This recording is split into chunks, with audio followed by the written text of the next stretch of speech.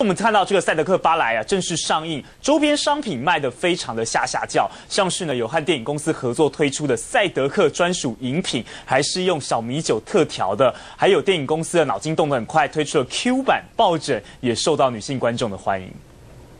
加入糖浆、冰块还有气泡水，本来正常的调饮料步骤，哎，奇怪，怎么旁边放了一罐小米酒，而且就这样倒进了饮料里。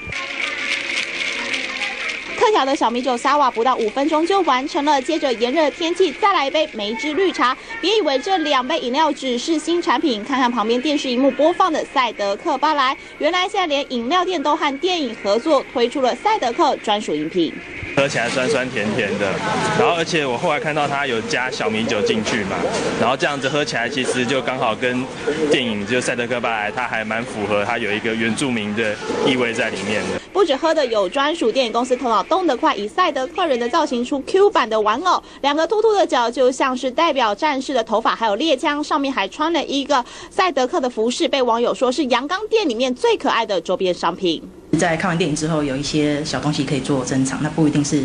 呃阳刚的，也有 Q 版的。周边商品越出越多，预购商品早就卖光了，也看得出来赛德克巴莱不止票房热销，商机也无限。中央林俊鲁配于台北采访报道。